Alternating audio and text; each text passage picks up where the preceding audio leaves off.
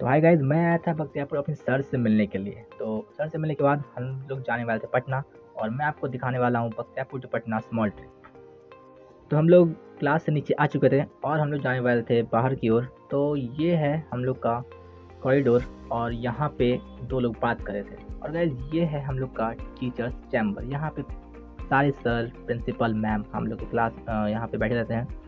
तो हम लोग को जाना था बायोमेट्रिक लगाने के लिए। तो हम लोग पहले आए बायोमेट्रिक लगाने के लिए और ये है हमारा बायोमेट्रिक मशीन तो फ़र्स्ट बार में तो मेरा ये लिया नहीं। फिर सेकेंड बार मैंने ट्राई किया तो हम लोग का बायोमेट्रिक मशीन हो गया। तो मैं आपको दिखाने वाला हूँ कि हम लोग का रिव्यू कैसा है कॉलेज का। ये है हम लोग का कॉलेज का गेट देख रहे हैं ना, यहाँ भी फ़ैन लगा हुआ है तो आप लोग यहाँ भी रुक की हवा खा सकते हैं। तो ये मेरा फ्रेंड था तो हम लोग जाने वाले थे बाहर। तो वैसे आज का मौसम बहुत ख़राब था, आज बहुत धूप था, बहुत ज़्यादा तो ये देखिए, ये हमारे कॉलेज का गेट है, ठीक है? तो यहाँ का व्यू आप देख सकते हैं। अच्छा कॉलेज दिखता है हम लोग का, बहुत अच्छा है। और सब कॉलेज सेम है तो कन्फ्यूज़ जाइएगा नहीं। आपको सब दिखेगा तो आपको सबको आपके नाम से पहचानना है। तो देखिए, बाहर का गेट हम लोग का ऐसा दिखता है तो कॉलेज का काफ़ी हम लोग का बड़ा है, बहुत अच्छा दिखता है। चलिए, मैं आपको इसका, आपको लॉन्ग व्यू दिखाता हूँ, आपको दूर से साफ़ साफ़ दिखे, ठीक है? तो ये देखिए, यहाँ पे दो रास्ता है तो यहाँ हमको जाना है सीधा। तो ये देखिए, दूर से हमें कॉलेज दिखता है, ऐसा। यहाँ पे मेस कॉलेज क्लास सब कुछ लाइब्रेरी सब अवेलेबल है। स्टेशन की ओर। तो हम लोग को मिल गया था ऑटो। हम लोग बैठ गए थे तो यहाँ का रास्ता है दस मिनट का। और भैया जी ने लिया दस रुपया और हम लोग को पहुँचा दिया डायरेक्ट हमारे स्टेशन।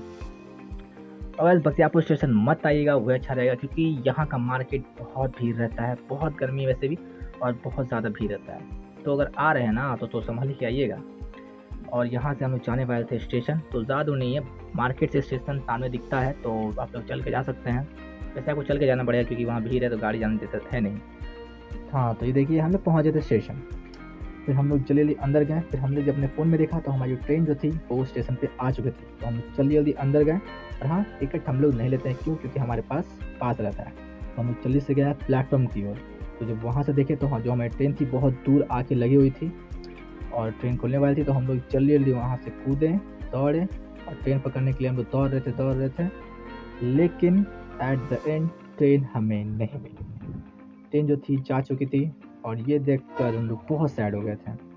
फिर हम सबने अपना लंच निकाला लंच किया, और लंच करते करते हमें सुनाई दिया कि नेक्स्ट ट्रेन प्लेटफॉर्म पे आने वाली है। और ये सुन के मैंने अपना लंच कर दिया बंद। और लंच बंद किया तो वहाँ मुझे मिल गया इडली। तो मैं सबसे पहले वहाँ गया और जाके इन्हें कहा कि इडली मेरे लिए बनाइए तो इडली जैसे मुझे मिला, हम लोग अपना बनवा रहे थे। और जैसे बनवा रहे थे तो गाइस हमारी ट्रेन जो थी, बख्तियारपुर, पहुँच गई थी। अब ये देखे, मुझे और हो गया टेंशन कि मैं खाऊं कैसे, मुझे ट्रेन पकड़ना है। तो फिर भी हम लोग दो थे तो हम लोग एक ही खा लिए और ट्रेन हमें मिल गई।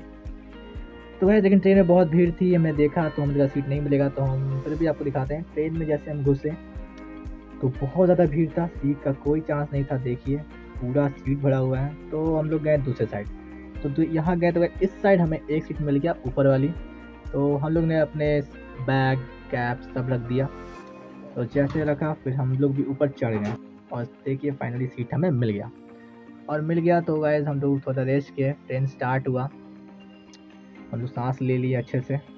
जो दोस्त था वो अपने फ़ोन में ही था बिज़ी तो फिर मुझे प्यासा तो मैं पानी पी रहा था और पानी जो थी मेरे शर्ट पे गिर गया। तो पानी में गिर गया, मेरा शर्ट पूरा भीग गया था।